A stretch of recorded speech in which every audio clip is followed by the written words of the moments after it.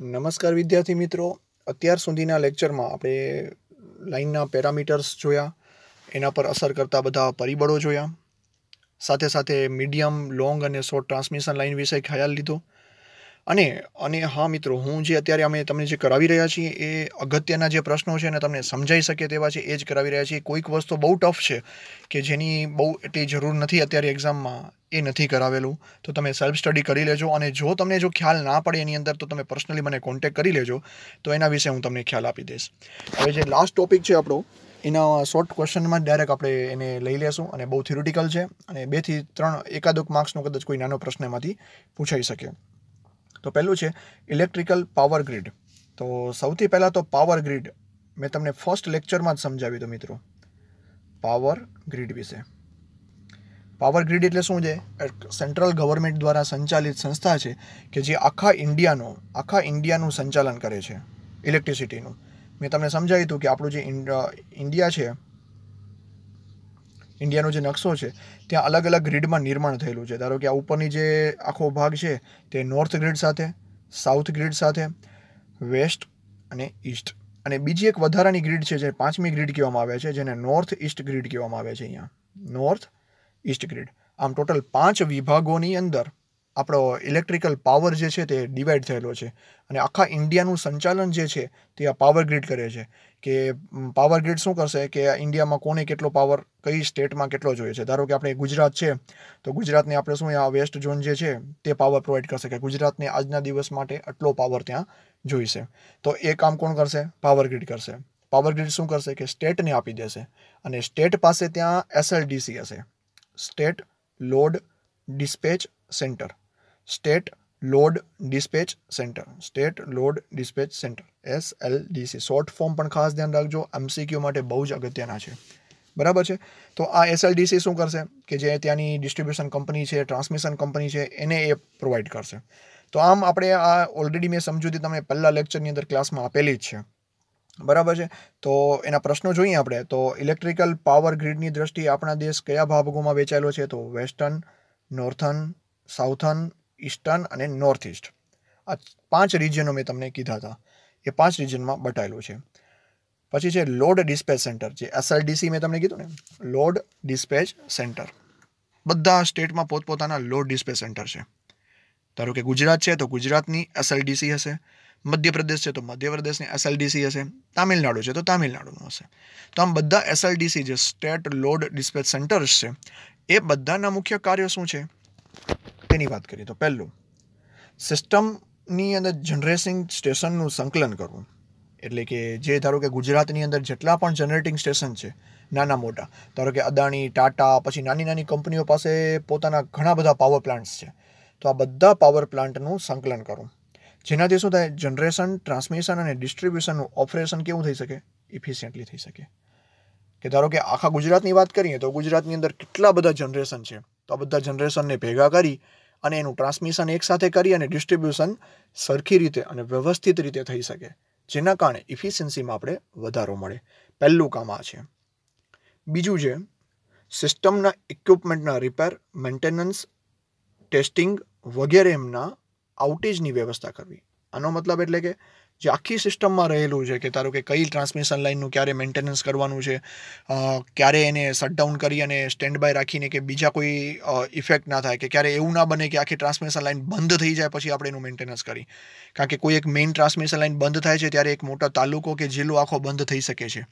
તો આવું ના થાય એના માટે એક સેન્ટ્રલાઇઝ સિસ્ટમ છે કે લોડ ડિસ્ટ્રીબ્યુશન સેન્ટરને બધી માહિતી હોય કે કઈ લાઇનનું ટ્રાન્સમિશનનું મેન્ટેનન્સ ટ્રાન્સમિશન લાઇનનું મેન્ટેનન્સ ક્યારે થયું છે એ બધું જાણવું. પછી સ્વિચિંગની સૂચનાઓ આપવી અને ઓપરેશનની સૂચનાઓ આપવી. મિત્રો સેફ્ટી માટે આ ત્રીજો પોઈન્ટ છે ને બહુ જ અગત્યનો છે. કારણ કે તમે જાણો છો કે ક્યારે કોઈ લાઇનને ચાલુ કરવી કે બંધ કરવી એક જ જગ્યાએથી થાય, તો ખ્યાલ પડે કે ધારો કે કોઈ ટ્રાન્સમિશન લાઇનનું મેન્ટેનન્સ થઈ રહ્યું છે ત્યાં, તો એ ટ્રાન્સમિશન લાઇનની આજુબાજુની કોઈ પણ લાઇન અત્યારે એક્ટિવેટ ના હોય તેનું ખાસ ધ્યાન રાખવું જરૂરી છે. બરાબર છે?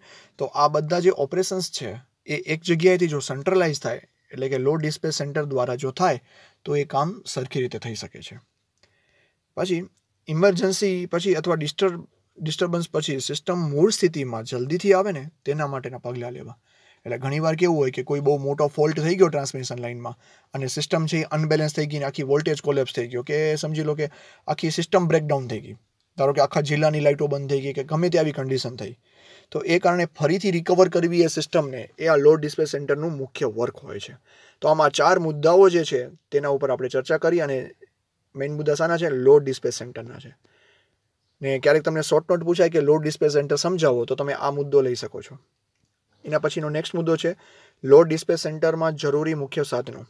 એમાં ટેલિમીટરિંગ અને કમ્યુનિકેશન જે ટોટલ આખા સ્ટેટની અંદર કઈ જગ્યાએ મેન્ટેનન્સ થઈ રહ્યું છે, એનું આખું કમ્યુનિકેશન કરે એના માટે. ડેટા ઇક્વિઝેશન અને કંટ્રોલ ડેટા ઇક્વિઝેશન એટલે કે ડેટાની બહુ જરૂર છે. ધારો કે ઉનાળાનો સમય છે, શિયાળાનો સમય છે, તો હરેક દિવસોમાં બધાનો લોડ અલગ અલગ હોય છે. ધારો કે શિયાળાની વાત કરીએ આપણે, તો શિયાળામાં પંખાનો જરૂરત નથી હોતી. ઘણા બધા એવા ઉપકરણો છે એસી છે, તો આ બધા ચાલતા નથી હોતા. એના કારણે લોડ ઘટી જાય છે. તો એ ત્યાં લોડનું સંચાલન જે છે, વ્યવસ્થિત રીતે કરી શકીએ એના માટે ડેટા ઇક્વિઝેશન એન્ડ કંટ્રોલ બહુ જરૂરી છે. પછી central computer system central computer system શું કરે છે કે આખા એસઆરડીસીને એક સાથે જોડે છે કે આખા ગુજરાતની અંદર કેટલું જનરેશન થઈ રહ્યું છે, કેટલું ડિસ્ટ્રીબ્યુશન થશે, કેટલું ટ્રાન્સમિશન થશે. તો એનું એક સેન્ટ્રલાઇઝ એક કંટ્રોલ સિસ્ટમ હોય કે ત્યાંથી આ બધું થતું હોય. પછી મેઇન મશીન ઇન્ટરફેસ મશીન ઇન્ટરફેસનો મતલબ કે જેટલા પણ મશીનો ત્યાં કાર્યરત છે, એ બધા મશીનોને એકસાથે ઇન્ટરફેસ કરી અને ડેટા કલેક્ટ કરવાનું છે. પછી નેક્સ્ટ છે ડિસ્પેચ સેન્ટરમાં વપરાતી લોડ ડિસ્પેચ ટેકનિકના નામ. એટલે કયા કયા ટેકનિકથી લોડ ડિસ્પેચ કરવામાં આવે છે? લોડ ડિસ્પેચ ગુજરાતીમાં જઈએ તો લોડ એટલે આપણે ઇલેક્ટ્રિકલ પાવર છે ડિસ્પેચ કરવું, એટલે મોકલવું. બરાબર? તો પહેલું છે લોડ ફોરકાસ્ટિંગ લોડનું શિડ્યુલિંગ સિસ્ટમ રેગ્યુલેશન સ્વિચિંગ અને લોગિંગ લોડ ફોરકાસ્ટિંગ એટલે લોડની માહિતી આપણને આપવી. લોડનું શિડ્યુલિંગ એટલે કયા સમયે કેટલો લોડ ક્યાં આપવો, એનું શિડ્યુલ બનાવવાનું.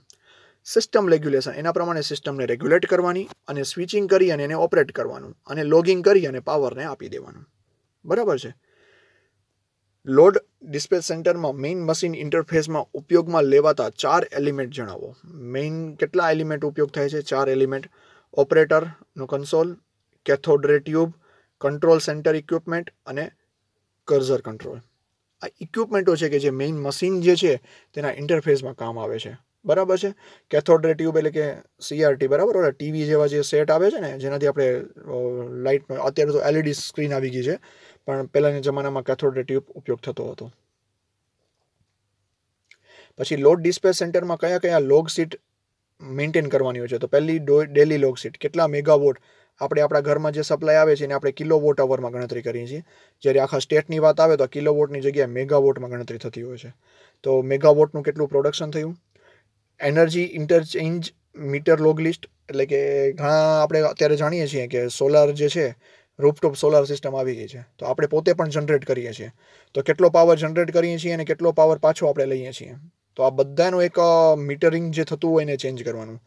બીજી પાર્ટીને કોઈને સપ્લાય આપણે એનર્જી કરતા હોય. ધારો કે આપણે પોતાનું જનરેટિંગ સ્ટેશન છે તો કોઈ બીજાને આપણે સપ્લાય કરતા હોઈએ તો એનું પણ ધ્યાન રાખે. રિસીવિંગ સ્ટેશન જે છે તેનો લોડ એટલે કે જે સેન્ડિંગ એન્ડથી કરીને રિસીવિંગ એન્ડમાં પણ એનો ચેક થાય. જેથી તમને ખ્યાલ પડે કે ત્યાં લોસીસ કેટલો થયો છે. નેક્સ્ટ છે કે લોડ ડિસ્પ્લે સેન્ટરમાં જનરેશનના ડેલી લોગ સીટ અને ફ્રીક્વન્સી ડેટા સીટ નોંધ કરવામાં આવતી વિગતો કઈ કઈ છે? તો એમાં પહેલું છે જનરેશનનું ડેલી સીટ જનરેશનનું ડેલી સીટ એટલે કે સ્ટેશનનું નામ હોય, દરેક કલાકે થતું જનરેશન હોય ત્યાં. ઇન્ટરકનેક્શન સાથેના ટ્રાન્ઝેક્શન હોય, એટલે કે સ્ટેશનનું પેલું નામ લખી નાખે, કયા સ્ટેશનમાં કેટલો પાવર ત્યાંથી જનરેટ થાય છે. પછી ઇન્ટરકનેક્શન કેટલું થાય છે તેનું ટ્રાન્ઝેક્શન હોય, અને સિસ્ટમનું કુલ પ્રોડક્શન અને સિસ્ટમનો લોડ આ ત્રણ એ જે છે ક્યાં હોય? જનરેશનના ડેલી સીટની અંદર આવે. ફ્રીક્વન્સી સીટમાં શું આવે કે કલાકે એનું રીડિંગ લેવાનું કે એક કલાકે કેટલું રીડિંગ છે, તેમાં ડેવિએશન કેટલું આવ્યું છે. પછી ચોવીસ કલાકનું કુલ ડેવિએશન કે કેટલો પાવર ગયો ને કેટલો લોસ થયો ને એ બધી જે મેન્ટેન થતું હોય ફ્રિકવન્સી સીટમાં આવે. આમ આપણે બે અલગ અલગ સીટોથી આપણે ત્યાં ડેલી લોક સીટ અને ફ્રીક્વન્સી લોક સીટ જે લોડ ડિસ્પેચ સેન્ટરનું મેઇન ઓપરેશન થતું હોય છે, તેના વિશે ખ્યાલ લીધો. તો મિત્રો તમને બુકની પાછળ જે છે ને, ખાસ ધ્યાન રાખજો કે તમને ક્યારેક સમય ઓછો હોય ને ફાસ્ટ તમને રિવિઝન જ્યારે કરવું હોય ને ત્યારે બુકની પાછળ તમારે જોવાનું. બુકની પાછળ. જોજો તમે, બતાવું છું હું.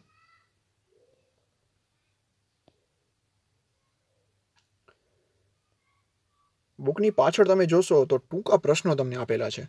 ટૂંકા પ્રશ્નો અને તેના ઉત્તર પણ તમને આપી દીધા છે ત્યાં. તો આનાથી તમને ડાયરેક્ટ માહિતી મળી જાય. જેવી રીતે આજે આપણે અત્યારે ચાર પાંચ લેક્ચર્સની અંદર આ ચેપ્ટર આપણે પૂરું કર્યું તેમાં બેઝિક જે મુદ્દાઓ હતા ને બધા આવી જશે. પહેલો ક્વેશ્ચન છે કે ટ્રાન્સમિશન લાઇન માટેના ઇન્ડક્ટન્સ પ્રતિ ફેઝ માટેનું સૂત્ર શોધો.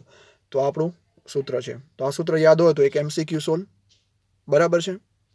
એવી રીતે લાઇન ટ્રાન્સપોઝ કરીએ, તો લાઇન ટ્રાન્સપોઝ એના માટે થાય છે અને એનામાં ટ્રાન્સપોઝ કરીએ તો શું થાય છે? તેનો પ્રશ્ન.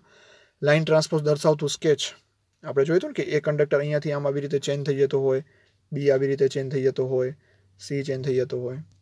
આપણે ઓલરેડી આ બધા મુદ્દાઓ ડિસ્કસ કરી લીધા છે, જેના સંપૂર્ણ ટૂંકમાં માહિતી આપેલી હશે. એસિમેટ્રિકલ હોય તેની વચ્ચેનું સ્પેસિંગ કેવું હોય, તો આપણે કીધું ને કે ત્રણે ત્રણ જે ડાયામીટર છે એનું ગુણાકાર એનું ઘનમૂળ લઈ લેવાનું. પછી સિંગલ ફેઝ લાઇન હોય તો એનું કેપેસિટન્સનું સૂત્ર કેટલું છે? તો ડાયરેક્ટ તમે આ જો મુદ્દા કરો તો એમસીક્યુ તમારા સોલ્વ થઈ જાય. ચાર્જિંગ કરંટ લાઇનના પરફોર્મન્સ જે છે, કયા કયા પરફોર્મન્સ છે એ ડાયરેક્ટ આવી ગયો.